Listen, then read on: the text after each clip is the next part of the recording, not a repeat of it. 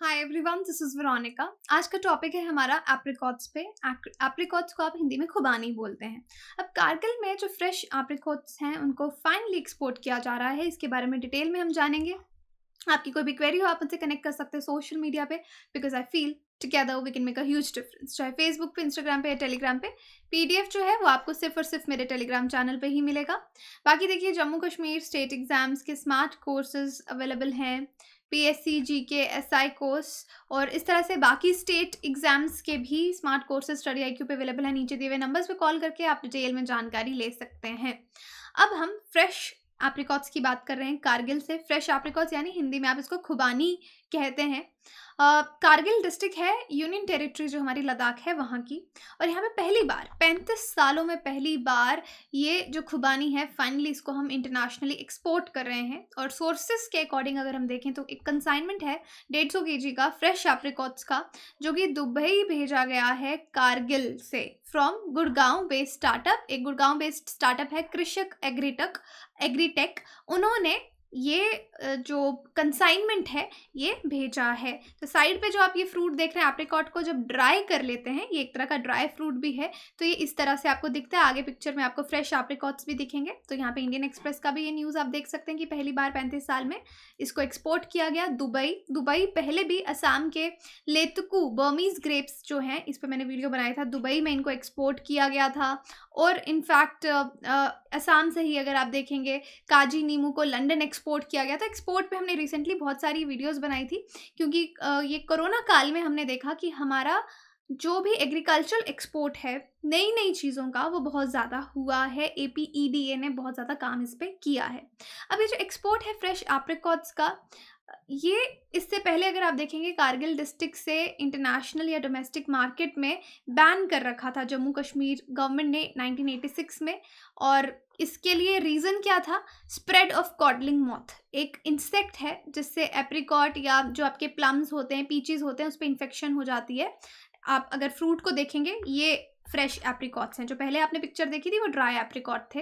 तो एप्रिकॉट्स में ऐसे जिसमें इन्फेक्शन ये, इन्फेस्टेशन हो जाती है कॉडलिंग मॉथ से तो आपको होल्स नज़र आएँगे फ्रूट पे। तो उसको स्प्रेड को रोकने के लिए जम्मू कश्मीर के बाहर कारगिल से इसको नहीं भेजा करते थे। बैन अभी भी फोर्स में है, लेकिन इस स्टार्टअप ने स्पेशल परमिशन लिया गवर्नमेंट ऑफ़ इंडिया से कि हम इसको फाइनली कारगिल से बाहर, इस डिस्ट्रिक्ट से बाहर एक्सपोर्ट करना चाहते हैं। और ये कंसाइनमेंट को फ्लैग ऑफ़ किया फिरोज अहमद खान जो चीफ एग्जीक्यूटिव काउंसलर हैं Ladakh autonomous hill development council के, एक फ़ंक्शन ऑर्गेनाइज प्रॉपर इसको भेजने के लिए किया गया। अब देखिए, जो सक्सेसिव गवर्नमेंट्स जितनी भी जे में रही हैं, ये कॉडलिंग मॉथ कॉडलिंग मॉथ क्या है? बहुत सारे एग्रीकल्चरल प्रोडक्ट्स पे आप देखते हैं पेस्ट्स अटैक करते हैं। तो ये इसी तरह का एक इंसेक्ट है जिससे इन्फेस्टेशन होती है। तो इसको टैकल करने के लिए बहुत ज़्यादा एफर्ट्स जो हैं वो नहीं लगाए गए। लेकिन, और ऊपर से फार्मर्स को डिस्करेज किया गया कि आप इस फ्रूट को ग्रो मत कीजिए एप्रिकॉट प्लांट्स को मत लगाइए। लेकिन फिर भी डिस्ट्रिक्ट में अगर आप देखेंगे ट्वेंटी थाउज़ेंड टन्स एप्रिकॉट्स जो हैं पुराने पेड़ों पे अभी भी ग्रो करते हैं फार्मर्स ग्रो उनको करते हैं। डिस्करेज होने के बावजूद भी।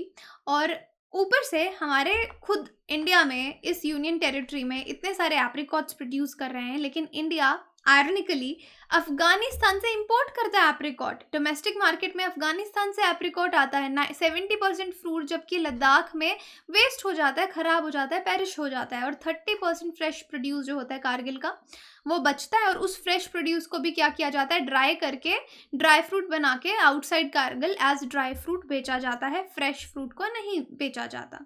अब चेंजेस क्या हैं? जब से लद्दाख अलग से यूनियन टेरिटरी बनी है तो इस पे अलग से स्पेशल फोकस जाने लग गया है। एप्रिकॉट को यहाँ पे आइडेंटिफाई किया है कि ये एक प्राइमरी क्रॉप है कारगिल का। किस स्कीम के under one district one crop program जो है, इस प्रोग्राम के अंदर आइडेंटिफाई किया गया कि एप्रिकॉट की इम्पोर्टेंस है और ये प्राइमरी क्रॉप है कारगिल डिस्ट्रिक्ट का। अब कमर्शियली बात करें बिज़नेस डीलिंग की बात करें तो कमर्शियली फ्रेश एप्रिकॉट्स को डील करना शुरू किया इस बार since July twenty five twenty M fresh apricot जो हैं जिनकी वैल्यू अगर आप देखेंगे, तीस लाख के आसपास है। जो ट्रेडर्स हैं, Mumbai, Hyderabad, Ahmedabad, Delhi national capital region इनको ये बेचा गया। ये जो प्रोड्यूस है, इसको अराउंड 200 फार्मर्स हैं कारगिल डिस्ट्रिक्ट में अलग अलग फार्मर्स उनसे प्रोक्योर करके आगे इसको कमर्शलाइज किया गया फाइनली बेचा गया।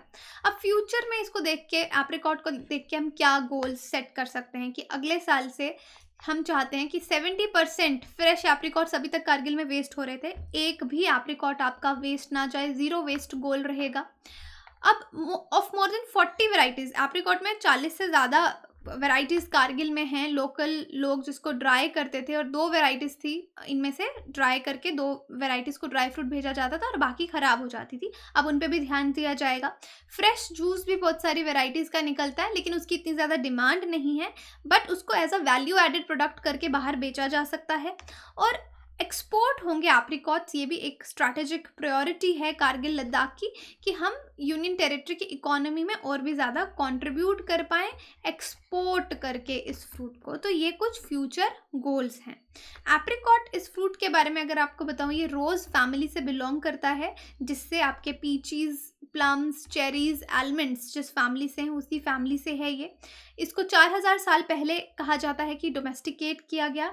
ओरिजिन इसका कुछ क्लियर नहीं है कि कहाँ से है। कुछ लोग मानते हैं कि अर्मेनिया से ओरिजिन है, कुछ लोग कहते हैं कि चाइनीज़ ओरिजिन है। बट एप्रिकॉट अगर आप लोगों ने खाया it's a very tasty fruit मैंने तो खैर जम्मू कश्मीर से हूँ तो फ्रेश एप्रिकॉट्स कॉट्स भी खाए हैं। ड्राई वाले अभी भी मेरे अमेजोन पे ऑर्डर लग रखा होगा इसका। So I find it very tasty you should also try it अब देखिए ये जो फ्रूट है अंटार्कटिका छो, को छोड़ के ऑलमोस्ट छः के छः कॉन्टिनेंट्स में ग्रो करता है। कैलिफ़ोर्निया में 95 परसेंट एप्रिकॉट्स यूनाइटेड स्टेट्स के ग्रो किए जाते हैं। सिक्सटीन हंड्रेड्स में एप्रिकॉट को यूज़ किया जाता था इसका कुछ मेडिकल मेडिसिनल वैल्यू भी माना जाता था। इसका जो ऑयल है उसको मेडिकल कंडीशन जैसे कि ट्यूमर्स अल्सर्स स्वेलिंग को कंट्रोल करने के लिए ये यूज़ किया जाता था। अब इसके हेल्थ बेनिफिट्स अगर आप देखेंगे देखिए इसका हिंदी नेम खुबानी भी लिखा है। इसको हिंदी में खुबानी कहा जाता है। एंटी कैंसर भी है, कुछ रिसर्च रिपोर्ट्स दिखाती हैं। आपके हार्ट हेल्थ के लिए इंपॉर्टेंट है। आसमा अगर हो जाता है आपको, उसको ये रिलीव करता है। बोन हेल्थ के लिए अच्छा है स्किन के लिए अच्छा है एनीमिया को ट्रीट करता है। कॉन्स्टिपेशन नहीं होता है इससे। इलेक्ट्रोलाइट बैलेंस बॉडी में बना रहता है और फीवर को भी क्योर करता है। न्यूट्रिशनल वैल्यू देखेंगे तो आप इसका स्क्रीनशॉट देख सकते हैं कि कितनी सारी वाइटामिन इसमें पाई जाती हैं। वाइटामिन ए सी बी और यहाँ से ए को क्या बोलते हैं? वाइटामिन ए का क्या नाम है? सी का जैसे एस्कॉर्बिक एसिड भी कहा जाता है ई e को अल्फ़ा टोकोफेरॉल कहा जाता है नियासिन तो ये नाम भी आप देख सकते हैं vitamin K is your phylloquinone B six is pyridoxine B two is riboflavin B one is thiamine B nine is folate तो ये सवाल भी कई बार आ जाता है साइंस के अंदर कि कौन सी वाइटामिन का क्या नाम है। अब इसमें अलग मिनरल अब ऑब्वियसली ये क्वेश्चन तो नहीं आएगा कि बताइए एप्रिकॉट में कौन से न्यूट्रिशन न्यूट्रिएंट्स हैं बट यहाँ पे वाइटामिन वगैरह के जो नाम है, ये आपको आने चाहिए। अब मैंने मेंशन किया कि कारगिल में, कारगिल डिस्ट्रिक्ट में एप्रिकॉट को प्राइमरी प्रोडक्ट प्रोड्यूस माना गया है। किस प्रोग्राम के अंदर? One district, one product scheme के अंदर। अब one district, one product scheme क्या है? ये एक इनिशिएटिव है, एक ट्रांसफॉर्मेशनल स्टेप था कि हमें किसी डिस्ट्रिक्ट में क्या चीज़ ग्रो करती है, उसको पोटेंशियल देखना है, क्योंकि उसको वहाँ के फार्मर्स अगर ग्रो करेंगे, उनको बेनिफिट होगा, हम उसको एक्सपोर्ट कर पा पाएँगे या कमर्शियल लाइन में उसको बिकवा पाएँगे तो ओवरऑल उस एरिया के इकोनॉमी को फ़ायदा होगा। Rural entrepreneurship rural employment generate होगी और जो हमारा गोल है आत्मनिर्भर भारत का, हम उसको अचीव कर पाएँगे। अब ये स्कीम बेसिकली एक जापानीज बिज़नेस डेवलपमेंट कॉन्सेप्ट है, जो 1979 में शुरू किया गया और यहाँ पे यही एम था कि कॉम्पिटेटिव जो प्रोडक्ट्स हैं उनको हमें बूस्ट करना है और जो स्टेपल प्रोडक्ट्स हैं, जो एक जगह पे लोग बहुत खाते हैं, एक स्पेसिफिक एरिया में, उसकी सेल्स को इम्प्रूव करना है ताकि लोकल पॉपुलेशन का स्टैंडर्ड ऑफ़ लिविंग इम्प्रूव हो सके और ओवर टाइम इस चीज़ को एशियन कंट्रीज़ ने भी रेप्लीकेट किया। ये जो कॉन्सेप्ट है, ये कहाँ का है? ये एक जापानीज़ कॉन्सेप्ट है। अब क्या कॉम्पोनेंट्स है स्कीम के? कि एक प्रोडक्ट को हर डिस्ट्रिक्ट में आइडेंटिफाई कीजिए, देखिए क्या पोटेंशियल है, क्या स्ट्रेंथ है। नेशनल प्रायोरिटीज़ क्या हैं? उसको हम कितनी सेल्स को इम्प्रूव कर सकते हैं? क्लस्टर डेवलप कीजिए डिस्ट्रिक्ट लेवल पे वर्ल्ड क्लास प्रोडक्ट बनाइए, क्योंकि इंडिया के बहुत सारी चीज़ें एक्सपोर्ट नहीं हो पाती क्वालिटी की वजह से। तो क्वालिटी अच्छी होनी चाहिए, फिर उसकी स्केलेबिलिटी उसकी क्वांटिटी भी इंक्रीज़ कीजिए, एक ब्रांड बनाइए। मार्केट लिंकेजेस लोगों को दीजिए, जो भी प्रॉब्लम्स आ रही है बिज़नेस में, उनको आइडेंटिफाई करके सॉल्व करने की कोशिश कीजिए। जो लोकल एक्सपोर्टर्स हैं मैन्युफैक्चरर्स हैं, उनको स्केल अप करने बिज़नेस को बढ़ाने में मदद कीजिए। अब उनको कौन खरीदना चाहते हैं? कौन लोग हैं? आउटसाइड इंडिया उनको आइडेंटिफाई कीजिए कि किन देशों में इसकी ज़्यादा डिमांड होगी। और इस तरह से जो एम्प्लॉयमेंट है डिस्ट्रिक्ट में, वो भी जनरेट होगी। तो यहाँ पे सवाल है आपके लिए with reference to the one district one product consider the following statement it aims to boost the economy of the region district by district through encouraging indigenous and specialized products of each district This program is providing loans to local production units and farmers. तो बताइए इसका सही answer क्या है अब आपने पूरा topic तो पढ़ा आप इसमें क्या बता सकते हैं टेलीग्राम में अगर आप मेरा ग्रुप ज्वाइन करेंगे तो वहाँ पे जो ये पोल टाइप में ये क्वेश्चन आपको मिलेगा, वहाँ पे इसको अटेम्प्ट करके आप देख सकते हैं कि आपका आंसर सही है या गलत है। बाकी आप हमारी वेबसाइट विज़िट कर सकते हैं एप्लीकेशन डाउनलोड कर सकते हैं कोर्सेज़ की जानकारी के लिए। स्मार्ट कोर्सेज ई पे भी अवेलेबल हैं, नीचे दिए हुए नंबर पर कॉल कीजिए, जानकारी लीजिए। Thank you so much